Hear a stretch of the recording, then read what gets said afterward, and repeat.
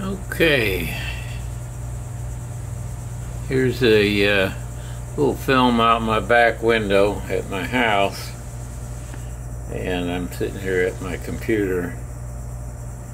And uh, let's zoom in on this guy here. Guy's been hanging around here today. See him right under my dock kind of cool. Haven't seen a gator here in several years. We used to get some manatees in here. Uh, yeah, there he is. Let's put this thing. All right, well, thanks for watching.